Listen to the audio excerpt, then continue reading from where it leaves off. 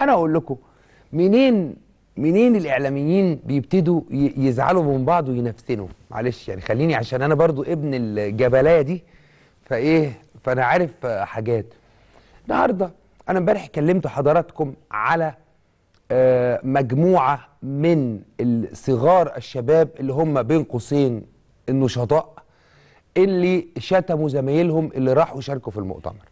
طبعا اللي ما شاركش في المؤتمر اللي اتوجهت له دعوة وما شاركش في المؤتمر هو اللي خسران. ليه؟ لأنه أنت بتتكلم كل هذا الحوار المفتوح في حضور الرئيس. أي كلمة عايز تقولها الرئيس قاعد والناس المصريين كلهم شايفين. ما فيش محطة ما بتنقلش. فيش محطة ما بتنقلش. فهم اللي خسرانين. لكن يحصل إيه؟ يحصل إن هم في ناس ما ما جالهاش دعوات. عشان العدد عشان آه تقدير عشان التمثيل النوعي. ما مش معقول هجيب الناصريين كلهم. الوفد كله. اليسار كله الحزب الديمقراطي الاجتماعي كله مش هينفع. فالناس بتت... حتى النواب ما راحوش كلهم. في نواب زعلانين. يعني آه، أخونا معتز الشاذلي كلمني وقال لي ينفع كده مؤتمر للشباب ما يبقاش فيه ممثلين الشباب وأنا ممثل للشباب وأنا الشباب والكلام ده. معتز ما, ما أقدرش ألومه. لكن في النهاية في عدد في عدد كبير من الناس كانوا موجودين فيعني بيمثلوا ال- ال- الجميع. لكن مثلا منين بقى بيحصل النفسنة؟ منين بتبتدي المشكلة؟ في مشكلة نفسية في الإعلام والله مش بهزر مشكلة سيكولوجية لدى الإعلام في مصر سواء الإعلاميين اللي بيطلعوا قدامكم في التلفزيون أو الصحافة. يقول لك إيه؟ طب أنا رحت وما ما طلعتش يعني ما اتكلمتش في الندوة. طب ليه اختاروا فلان يطلع وما اختاروش علان؟ طب ليه ده بيقدم وأنا لأ؟ آه طب ليه ده اتكلم وأنا ما اتكلمتش؟ آه طب ليه قاعد ده قاعد في الأوتيل اللي هو على بعد آه 100 متر من آه آه، مكان رئيس الوزراء وأنا قاعد على بعد 700 متر؟ مصر أغلبها وال- والساحة السياسية والإعلامية والكلام ده على مسؤوليتي الشخصية الساحة السياسية والإعلامية الدور السيكولوجي والنفسنه بتلعب دور حاكم في هذا الموضوع. مفيش حد بيتعامل بقى من قلبه وبضميره.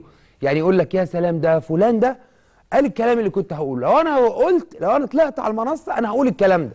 طالما اتقال ها ما هو ده الفرق بين اللي بيحب مصر وبين اللي بيطبل لشخص. اللي قاعدين دول ما بيطب ما طبلوش لحد. اللي اتفق واللي واللي, واللي عارض. اللي اللي ايد واللي ما ايدش ما طبلش لحد. ليه؟ لأن هو هو عايز بلده. هو عايز بلده. فالنهاردة لو أنا فلان ده آه مثلا واحد قاعد في المن... في جوه في القاعة فشايف أسامة كمال اللي بيقدم. طب وليه اشمعنى أسامة كمال اللي بيقدم بقى وأنا ما قدمتش ولا جلسة وبتاع قدام الرئيس؟ ما الرئيس قاعد بقى وجو فظيع. تبتدي بقى الايه حتة النفسنه دي تخش في آه، عروق ودماء البعض الإعلاميين بين قوسين.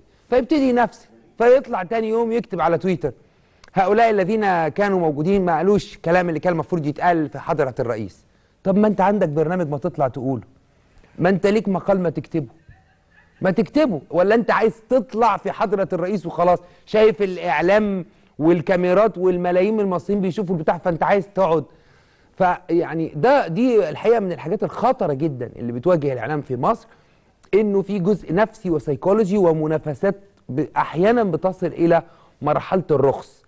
مرحلة الرخص دي هي اللي بتؤدي بقى لإيه؟ خليك معايا.